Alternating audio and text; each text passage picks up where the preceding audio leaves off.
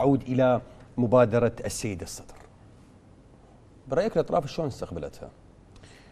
شوف كل الأطراف آه، تريد حل المشكلة حتى الإطار التنسيقي يعني آه، آه، تحديدا على سبيل المثال السيد هادي العامري والدكتور حيدر العبادي يعني يرغبون بشكل كبير جدا بأن يكون هنالك حوار مع السيد الصدر من أجل إنهاء هذا الانسداد السياسي. على المستوى البيت الشيعي وعلى مستوى رضا السيد الصدر بفكرة تشكيل حكومة ورضا عن مرشح الإطار.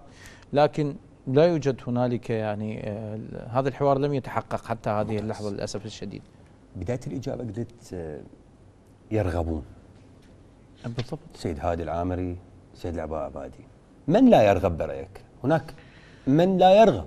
لا شوف هم كل الاطراف هذه الإجابة توحي أي من لا يرغب ومن لا, يرغب. لا شوف آه، يعني كل الأطراف الموجودة في داخل الاطار التنسيقي تحديدا هي ترغب بهذا الموضوع.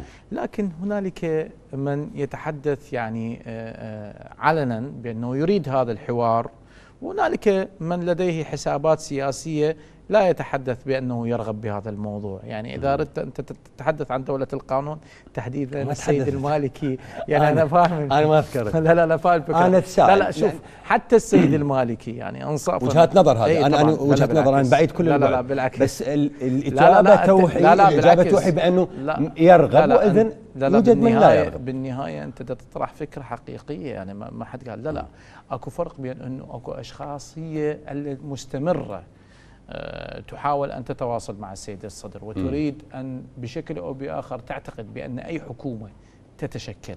هذه رؤية في داخل أجنحة الإطار التنسيقي. أي حكومة تتشكل بدون رضا الإطار التنسيقي؟ يعني العودة إلى سيناريو 2018 يعني العودة إلى الاحتجاجات يعني سقوط هذه الحكومة.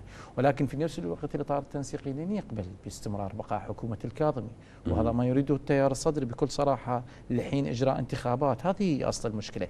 يعني بالعموم بالمطلق فكرة حل البرلمان وإجراء انتخابات هذا هذا هذا مطلب مقبول وكل الأطراف السياسية سنة. بما فيها الإطار تقبل بذلك سنة الموضوع. كاملة. وصلنا لمرحلة من النضج السياسي. سنة كاملة إحنا ما هاي الحوارات هذا العناد هذا العناد السياسي. مم. هذا عناد سياسي من أجل آه الوصول إلى أقصى نقطة إما أن يحقق آه آه الطرف الذي يريد إبقاء حكومة السيد الكاظمي. أو الطرف الآخر الذي يريد أن يزيح حكومة السيد الكاظمي. هذه هي أصل المشكلة بكل صراحة. إذا أردنا نتحدث عن الديمقراطي والسيادة ليس لديهم تدخل في هذا الموضوع. يعني هذا الموضوع لا يهمهم من هو الذي يكون رئيس الوزراء. بكل صراحة باعتبار أن هذا من حصة المكون الاجتماعي الشيعي. أروح بريك؟